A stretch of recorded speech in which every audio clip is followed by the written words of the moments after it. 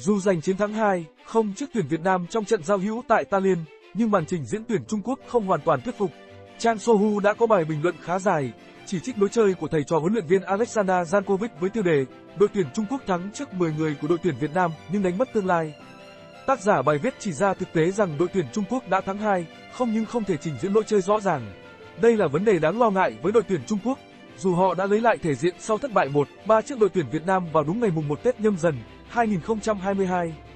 Trong suốt nửa đầu trận đấu, đội tuyển Trung Quốc không thể tạo ra thế trận lấn lướt và thiếu những pha tấn công hiệu quả. Họ liên tục phất bóng dài và không có sự kết nối trong lối chơi, bài viết có đoạn. Tờ Sohu cũng đánh giá, bàn mở tỷ số của Wang Qiuming là cơ hội hiếm hoi mà đội tuyển Trung Quốc tạo ra. Thậm chí, đội tuyển Việt Nam mới là đội chơi sắc nét hơn dù bộc lộ điểm yếu trong khâu tận dụng cơ hội. Đội tuyển Việt Nam sở hữu tỷ lệ cầm bóng lên tới 64% và có ý đồ nhắm vào những khoảng trống sau lưng hàng phòng ngự đội tuyển Trung Quốc. Rất may, khả năng tận dụng của đội khách là không tốt.